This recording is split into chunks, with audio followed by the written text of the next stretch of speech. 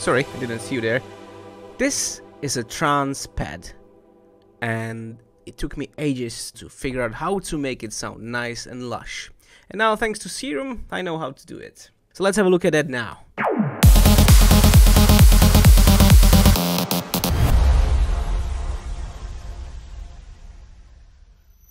Hey guys, I'm ReOrder and I'm a trance DJ and a music producer. Today I'm gonna show you how to make sort of a JP8000 uh, pad for your next huge hit. We're gonna start by loading up a serum. Let's start by picking a saw here.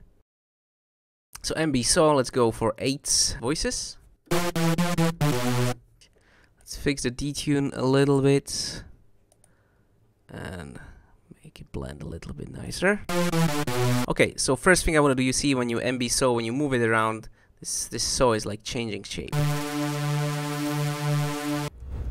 I want to give this sound a little bit more life so it feels like an analog sound. So we're gonna use the LFO to make it, you know, move up and down. So we assign the LFO 1 here, the wavetable position. Not too much, just a little. So let's just do like over one bar. Not too much, just a little. So it's like moving a little bit when you play. You see how it's moving up and down? So that's what we want. We'll do the similar thing here with the phase, where we just want to put it on the phase and let's just do this like over four bars. So it's slowly moving left and right. So you can hear the like movement inside so it feels more analog. We're trying to emulate it here now with serum and the LFOs okay now let's add a second os here. We're gonna go for basic and CB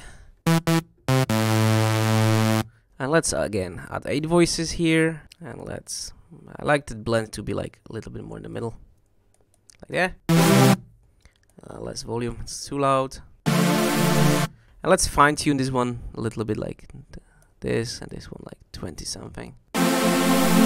Now it's starting to sound like what we are looking for, but it's still not there. We need to make it a little bit softer. So on the envelope one, I'm just gonna add a little bit more attack here. Just make it like really smooth.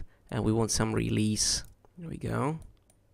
Something like this. And maybe a little bit more attack here just so it doesn't start so fast and abrupt. Let's see how it's gonna sound.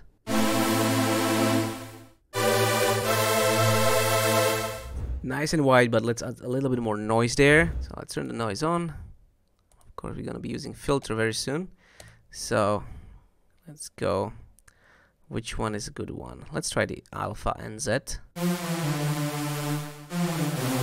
See how it sounds just on its own what you want to hear. I would say it's good. I think it's like alright. Now if you want to make this like super super super wide, you can come over here and just choose super, super super super wide, super, and increase the number of voices on the unison. See, it's like super super crazy. So I like to keep this, for this one I'm just gonna keep it on 2, but make it super. Okay, that's like super crazy.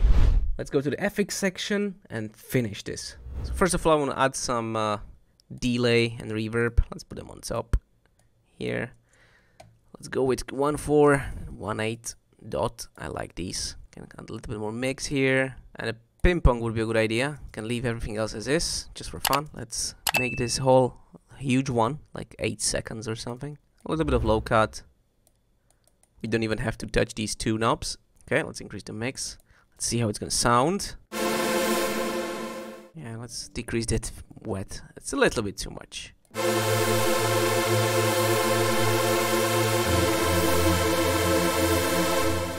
Starting to sound really nice. Okay, let's play a little bit more with the EQ here. And all I want to do is just to do a little bump here in the middle. Just to make it a little bit nice and soft. So about 700 hertz, you know, the mud just want to put it all away okay? A little wider and just like put it down just to make it softer.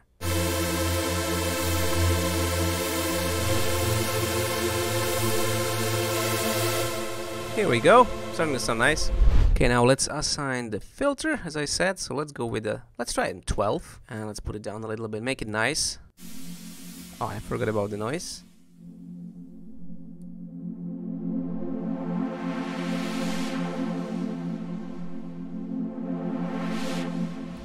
But what I want to achieve is when the filter is going up on the cutoff, I want the resonance to go up with it. So it goes down to zero. So let's just map it to the modulation knob. So we're gonna do this one on the cutoff and this one on the resonance. And we just don't want to go up here, maybe like 20% up and see how it's gonna sound.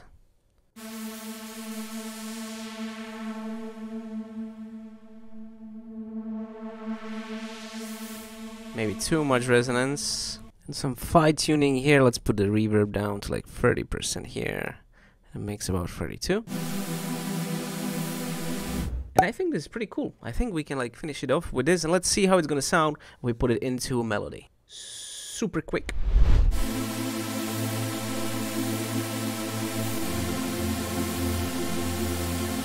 And one thing I forgot when I'm listening to this, uh, maybe a little bit more release.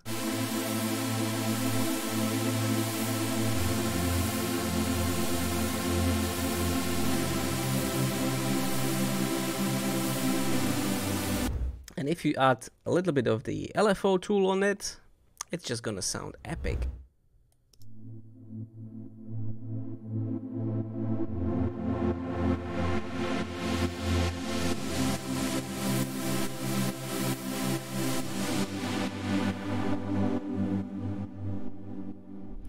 And that's it guys, I hope you will use this sound well. And if you like this video guys, please give it a thumbs up, subscribe and hit the bell button so you won't miss any future uploads. Thank you very much for watching and I can't wait to see you soon. Ciao!